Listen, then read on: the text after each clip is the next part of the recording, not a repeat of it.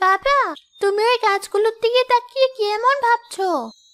তোর মা যখন বেঁচে ছিল তখন এই আম গাছগুলো নিজ হাতে লাগিয়েছিল। এত বছরে কত আম খেলাম ওই গাছ থেকে। গাছগুলো তো পড়ে আছে কিন্তু তোর মা নেই।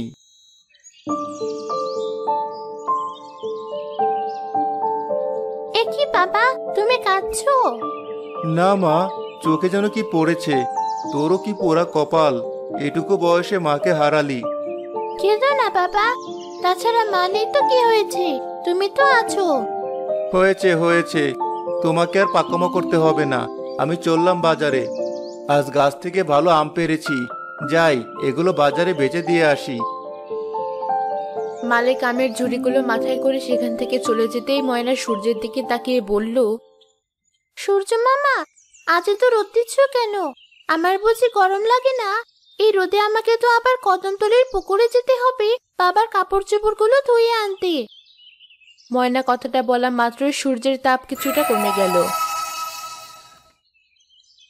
আমার লক্ষ্মী সূর্য মামা, আমি বলতে কেমন রোদটা কমিয়ে দিলে? সবাই বলে, আমি নাকি বানিয়ে বানিয়ে বলি, তুমি নাকি আমার কোনো কথাই শোনো না। অথচ এই দেখো, আমার কষ্ট দেখা মাত্র তুমি কেমন তোমার তাপ কমিয়ে দিলে। এবার যাই পুকুরের দিকে।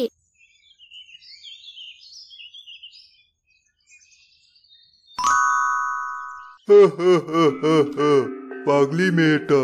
মা মরে যাওয়ার পর থেকে আমাকে এমন ভাবে মামা বলে ডাকে, মনে হয় যেন আমার কত কাছে। মেয়েটার জন্য খুব কষ্ট হয়। যাই দেখি, কোথায় আবার আলোর প্রয়োজন? সূর্য গাছের আড়ালে লুকিয়ে পড়তেই কাদের কাঠচোরা জঙ্গলের দিকে যেতে লাগল।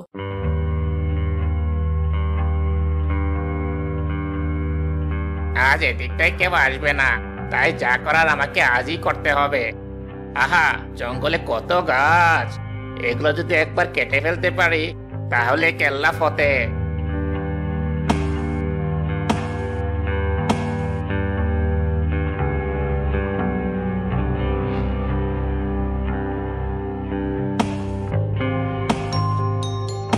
আশ্চর্য, এই অবেলায় জঙ্গলে গাছ কাটা শব্দ পাচ্ছি মনে হচ্ছে। কিন্তু জঙ্গলে তো গাছ কাটা নিষিদ্ধ।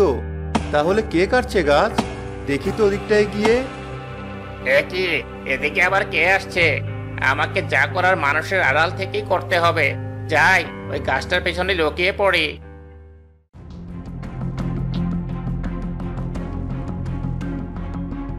এই তো গাছে কোপের চিহ্ন। এর মানে সত্যি কেউ এখানে গাছ কাটছিল? কিন্তু কে পরিবেশের এত বড় শত্রু? না, আমি থাকতে কিছুতেই এই কাজ আমি কাউকে করতে দেব না। ওই তো একটা কুড়াল। ওটা একবার সরিয়ে ফেললে কেউ গাছ কাটতে পারবে না।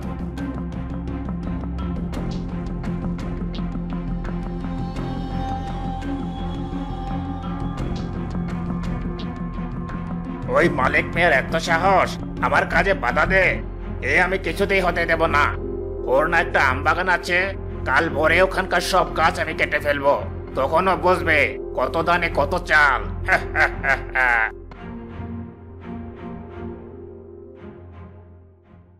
মা ময়না কোথায় গেলি? বাবা আজ তুমি এত তাড়াতাড়ি বাড়ি ফিরে এলে? হ্যাঁ মা আজ সব আম খুব তাড়াতাড়ি বিক্রি হয়ে গেছে। এই দেখ সেই টাকা দিয়ে তোর জন্য একটা জামাও কিনে এনেছি। আবার এতগুলো টাকা খরচ করতে গেলে কেন? আমার আর কে বা আছে বল? তোর জন্য খরচ করব না তো কার জন্য করব? তাছাড়া গাছে এখনও যত আম আছে তা বেচে আরও অনেক অনেক টাকা চলে আসবে। ওসব তুই চিন্তা করিস না তো। যাই হোক আমি তোমার জন্য খাবার নিয়ে আসি। তুমি তো আবার খিদে পেটে বেশিক্ষণ থাকতে পারো না। যা তোর খাবারও নিয়ে আসিস। আজ বাপ বেটি একসাথে বসে খাব।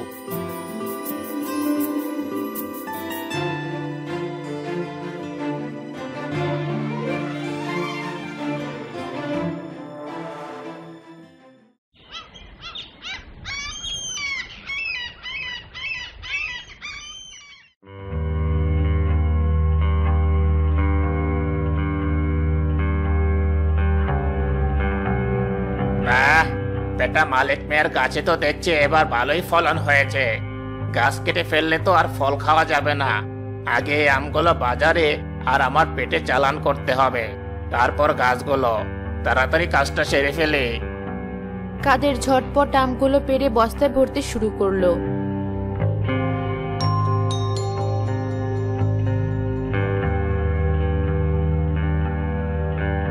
তখনই চারপাশে সূর্যের আলো ছড়িয়ে পড়তে লাগল। বেটা কাটচোর কাদের? এখানেও চলে এসেছে। আহারে ময়নার মায়ের হাতে লাগানো গাছের আমগুলো শয়তানটা এভাবে চুরি করছে। এতে তো ওদের অনেক ক্ষতি হয়ে যাবে। কিন্তু আমি কি করব? আমারই বা কি করার আছে? সূর্য দূর থেকে ময়নার জন্য দুঃখ করতে লাগল। অন্যদিকে কাদের বস্তায় আম ভরতে লাগল। আরে সূর্য তো উঠে পড়েছে। এবার আমাকে পালাতে হবে। তাছাড়া এতক্ষণে বেচারা গাছের প্রায় সব আমি তো আমি বস্তায় পরে ফেলেছি। বেশ করেছি। এবার বেটা মালিক বুঝবে ও কার কাজে বাধা দিয়েছে। হ্যাঁ হ্যাঁ হ্যাঁ। যাই এবার তাড়াতাড়ি এখান থেকে কেটে পড়ি।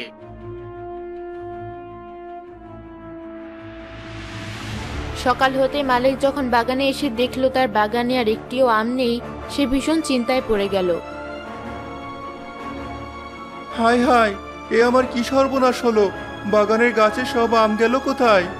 হায় বিধাতা এবার কি করে চলবে আমার সংসার? বিধাতা এ তুমি আমার কি ক্ষতি করলে?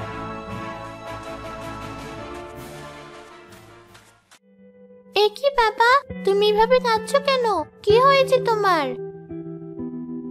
সর্বনাশ হয়ে গেছে রে মা। চেয়ে দেখ বাগানে একটাও আম নেই। রাতের অন্ধকারে কে যেন আমাদের গাছে সব আম চুরি করে নিয়ে গেছে।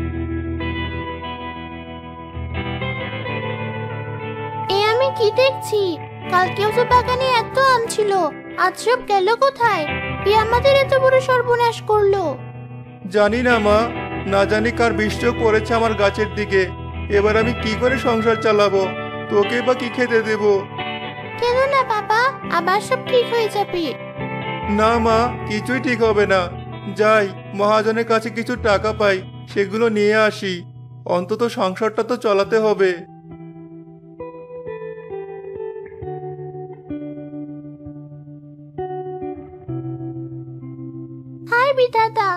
মাকে তো সেই কবেই কেড়ে নিয়েছো? আর আজকে বাবাকে এভাবে কাঁদাচ্ছ? এ যে আমি কিছুতেই সহ্য করতে পারছি না। শয়তান কাটচোরা একে তো গাছ কেটে কেটে পরিবেশের ভারসাম্য নষ্ট করছে তার উপর আমচুরি করে এই লক্ষ্মী মেয়েটাকেও কাঁদাচ্ছে। না এ আমি কিছুতেই মেনে নেব না। যে করেই হোক বেটাকে শাস্তি দিতেই হবে। সূর্যের তাপ হঠাৎই বেড়ে গেল। এই কি সূর্য মামা? আজকে তুমিও আমাকে কষ্ট দেবে? হঠাৎ তোমার এত রাগ হলো কেন? চারপাশটা কেমন আগুন গরমে পুড়িয়ে দিচ্ছ? এ তো দেখছি অসহ্য গরম।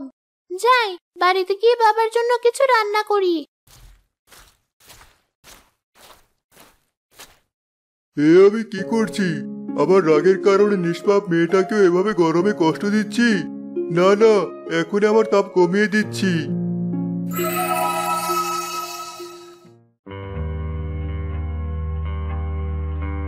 এদিকে আম চুরি করেও কাদেরের মনে শান্তি হলো না। পরদিন ভোরে গাছ কাটার লোভে সে আবারও আম বাগানে এলো।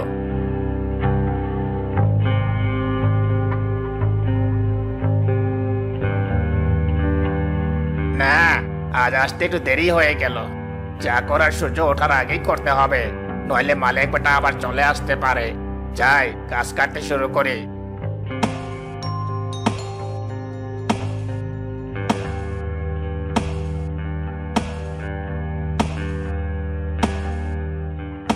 শয়তান কাঠচোরা আম চুরি করে ওর লোভ মেটেনি। আজ গাছ কাটতে এসেছে। না এবার তোকে কিছুতেই ছাড়বো না। যা করার এবার আমাকেই করতে হবে। সূর্য তার আগুন তাপ ছড়াতে লাগল কাদেরের উপর। সেই তাপ সহ্য করতে না পেরে কাদের বলল ওরে বাবারে আজ সকাল সকাল সূর্যের এত তাপ হলো কি করে? গরমে গা পড়ে যাচ্ছে মনে হচ্ছে। ওরে বাবারে সারা শরীর জ্বলে গেল। শয়তান তোকে আজ আমি ছাড়বো না। মামারা মেয়েটাকে আর ওর বাবাকে এভাবে কষ্ট দেওয়া? দাঁড়া, দেখাচ্ছি মজা। সূর্য তার তাপ আরও বাড়াতে লাগল। কাদের তাপ সহ্য করতে না পেরে যন্ত্রণায় ছটফট করতে লাগল। অন্যদিকে ময়না ঘুম থেকে উঠেই সূর্যের এমন তাপ দেখে বলল, এ কি সূর্য মামা? আজ আবার কার উপরে তো রেগে গেলে? এমন আগুন তাপ তো আমি এর আগে কখনো দেখিনি। মনে হচ্ছে তাপে আমার সারা শরীর পুড়ে যাচ্ছে। কি মা? একা একা কি বলছিস? একা না বাবা।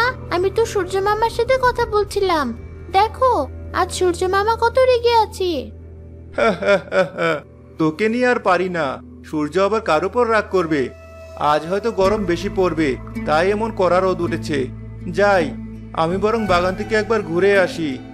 আমিও যাব তোমার সাথে।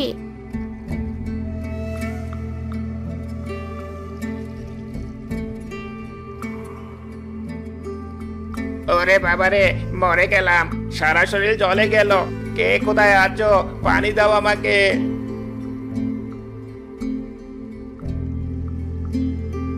আশ্চর্য এত সকালে বাগানে কে এমন চিৎকার করছে? চল তো এগিয়ে গিয়ে দেখি কেউ আবার বিপদে পড়ল কিনা।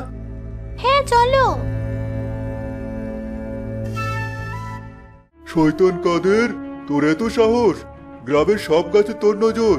দাঁড়া। তোকে দেখাচ্ছি মজা। এ কি সূর্যের তার তো দেখছি বেড়েই চলছে। হাই বিধাতা এ তুমি আমাকে কোন পাপে শাস্তি দিচ্ছ? ছেড়ে দাও আমায়।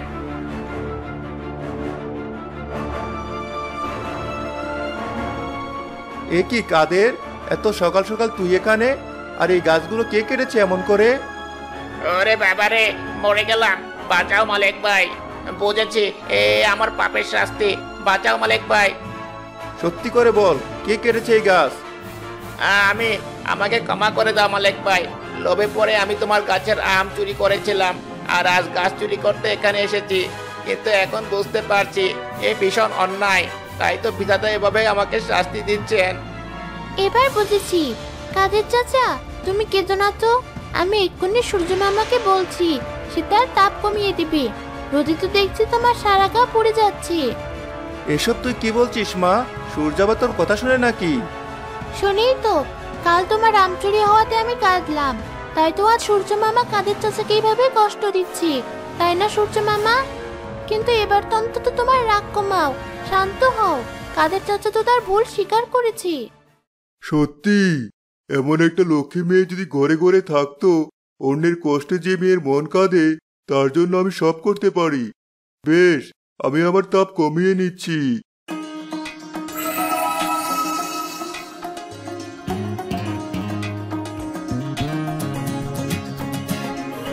আশ্চর্য, সত্যিই তো সূর্য তার তাপ কমিয়ে নিল। আর হ্যাঁ কাদের, আমি তোকে এবারের মতো ক্ষমা করে দিচ্ছি। তবে কথা দে, আর কখনো গাছ কাটবি না, বরং পারলে গাছ লাগাবি। মনে রাখবি, গাছ আমাদের প্রকৃত বন্ধু। হ্যাঁ মালিক ভাই আমি কথা দিচ্ছি আর কখনো গাছ কাটবো না। প্রয়োজনে দিনমজুরি করব। আমি বুঝেছি বিধাতা আমার প্রতি নারাজ তাই আর কখনো কোনো অন্যায় করব না। বেশ কাদের চাচা আমরা তোমায় ক্ষমা করে দিলাম।